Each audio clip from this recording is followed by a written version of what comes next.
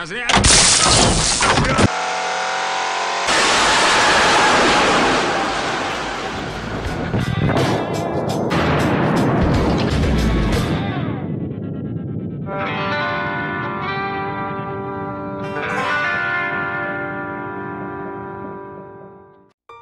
Всем привет!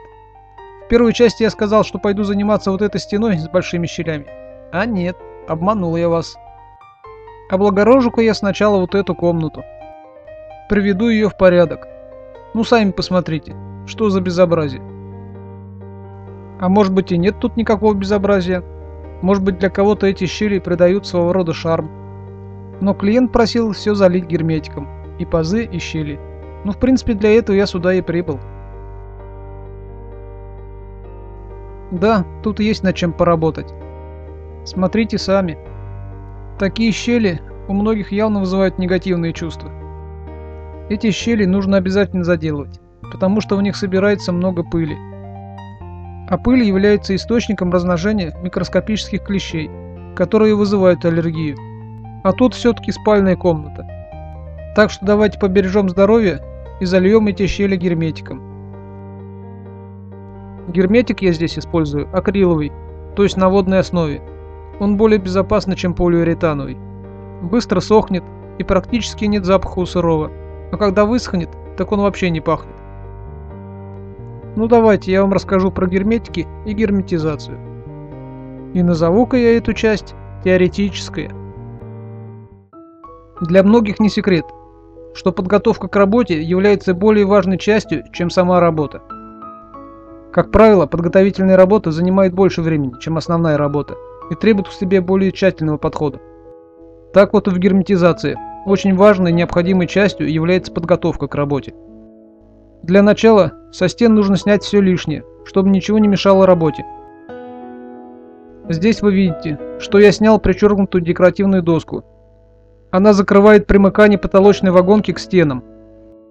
А также снял боковые наличники у окна и двери. После герметизации все будет установлено на свои места.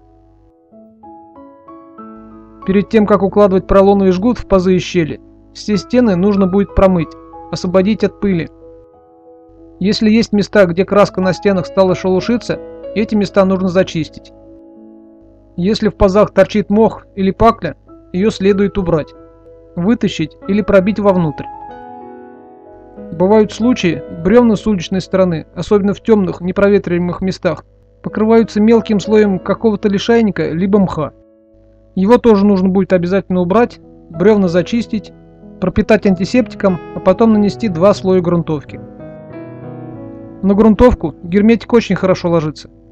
На чистое необработанное бревно герметик в принципе тоже хорошо ложится. Но из практики я понял, что грунтовка повышает адгезию герметика к бревну. Ведь все равно зачищенные места придется красить. А перед покраской обязательно наносится два слоя грунтовки. Без грунтовки краска на бревне у вас долго не продержится. На покрашенные бревна герметик тоже можно наносить, но нужно соблюсти два основных условия. Первое – это внутреннее помещение, где не бывает атмосферных осадков. И второе – обязательное соблюдение технологии покраски. А вот с уличной стороны на покрашенное бревно наносить герметик не советую. По истечению времени, под воздействием атмосферных осадков, краска постепенно отходит от бревна, а вместе с ней может отойти и герметик. Ну, с этим разобрались.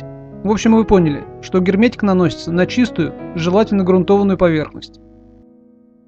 Теперь немного скажу об укладке поролонного шнура в пазы и щели. Его еще называют велотерм. Его можно приобрести там же, где и герметик. В хозяйственных магазинах его можно тоже купить, но он называется круглый утеплитель для окон. Поролоновый шнур бывает разной длины и разной толщины.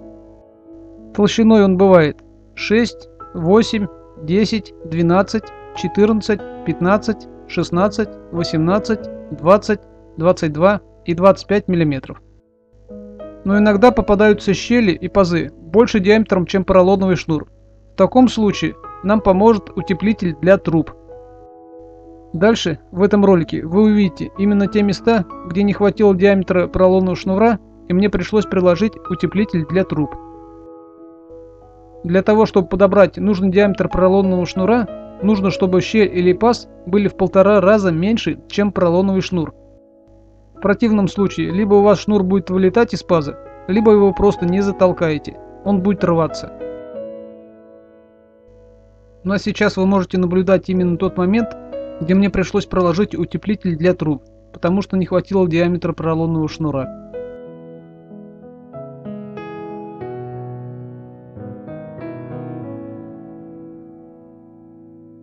Укладка поролонового шнура в щели и пазы немного отличается. При укладке в щели шнур углубляют на 5-10 мм, а вот при укладке в пазы шнур практически не углубляется. Но и торчать из паза он тоже не должен.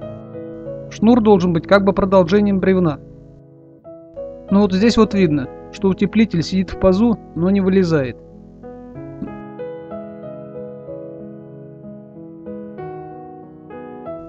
Да, и здесь мне тоже пришлось проложить утеплитель для труб.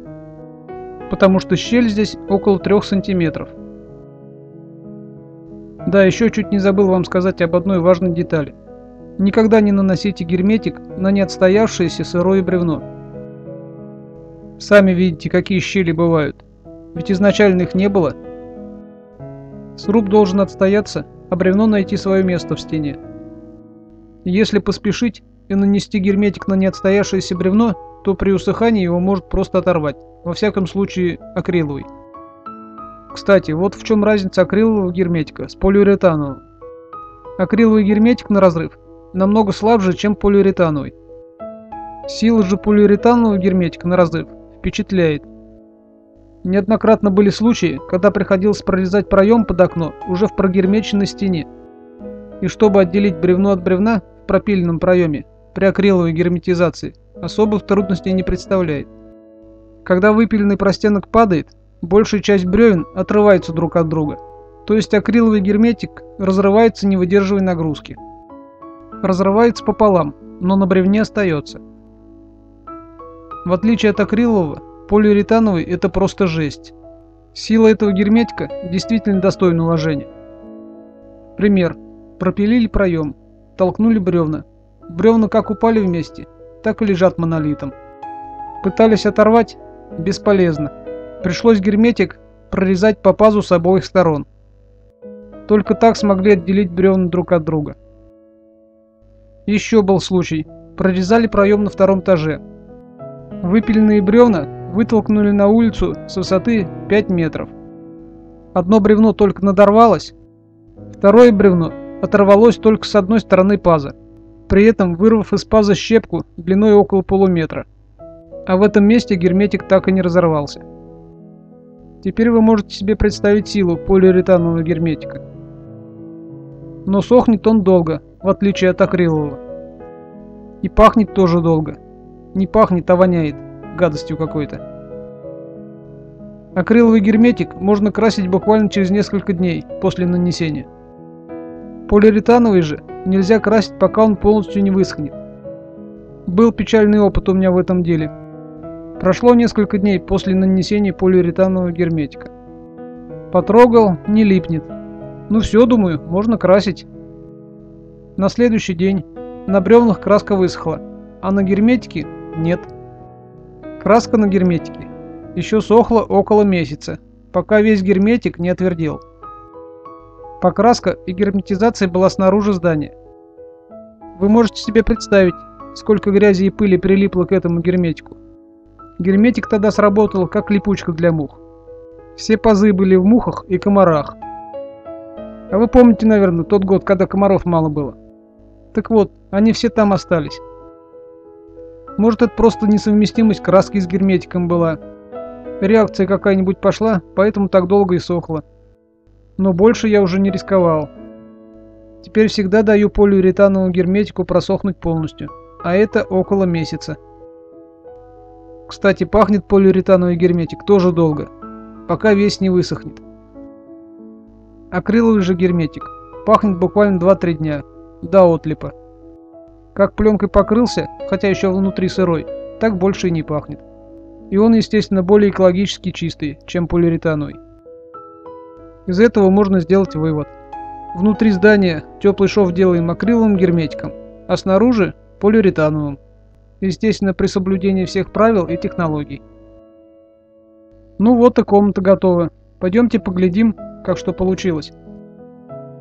Пока вы слушали мои умозаключения с выводами, пазы и щели прогермечены, потолок и стены покрашены. То есть в этой комнате со стенами наведен полный порядок. По-моему, получилось очень даже неплохо. А вы что думаете? На мой взгляд, вид без щелей гораздо симпатичней и более радует глаз. Остались только самые узкие щелки. Ну а в жизни каждого мужчины должны такие присутствовать. Верно, мужики?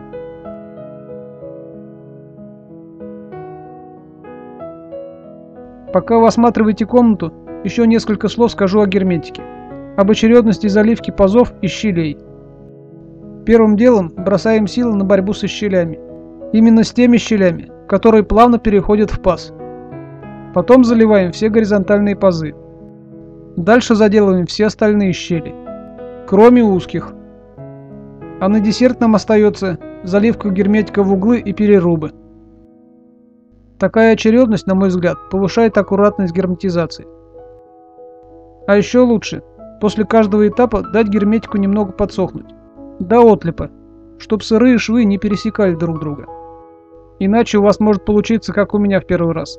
Какая-то мазня и трата нервов. Ну вот, из этого видео вы немного узнали о теории герметизации. В следующем видео будет немного практики. В следующем видео о герметизации вы увидите, как я наношу теплый шов и что для этого требуется. Ну а вам всем желаю удачи и приглашаю подписаться на канал.